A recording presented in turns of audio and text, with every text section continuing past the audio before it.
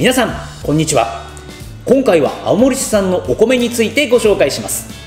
青森市は夏季冷涼な気候のため病害虫の種類や発生が少ないという気象立地条件を生かして消費者の安全安心志向に対応した原農薬栽培米のクリーンライスを生産しているほか水筒の直巻き栽培の拡大や無人ヘリコプターによる防除などお米生産の低コスト化や省力化に向けた取り組みにも力を入れています。青森市で多く生産されている品種はまっしぐらや津軽ロマンですが米の食味ランキングにおいて青森県で初の特 A 評価を取得した晴天の霹靂や令和4年に登場したばかりで特 A 評価を取得した新品種晴れ渡りなど近年の食味のいい品種も作付けされています。次にそれぞれのお米の特徴を見ていきます。まずは青森県産米のエースとして長年生産されてきた津軽ロマン。味や粘りなどの全体のバランスが良く優しい味わいが特徴です。次は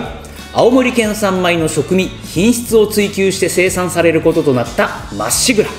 炊き上がりは白く艶があって粒揃いなどの外観も良く適度な弾力があって粘り気が少なくあっさりとした味わいが特徴です。次は平成27年にデビューした青森県産米を牽引する晴天の霹靂。粘りとキレのバランスが良く上品な甘みの残るさっぱりとした味わいが特徴。程よいツヤと柔らかな白さがあって大きめの粒は一つ一つキリリと際立ちます。頬張れば口の中ではらりと心地よくほどけて食べ応えがあるのに重すぎない。思わずおかわりしたくなるような美味しさです。冷めても美味しいのでお弁当やおにぎりにもぴったりなお米ですよ。そして令和4年秋に鮮烈にデビューを果たした新品種晴れ渡り。コシヒカリと一目惚れを先祖に持ちご飯が白く艶のある外観と粘りが強くて柔らかく舌触りが滑らかな食感でこれまでの青森県産にはない食味を持っています。毎日食べてもまた食べたい。青森の空のような飽きのこないお米です。はい。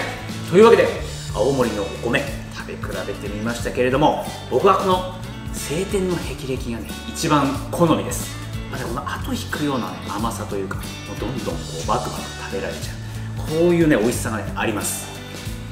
皆さんもぜひ青森のお米食べ比べてみてぜひね自分好みのお米っていうものをね見つけてほしいと思います。それではまたね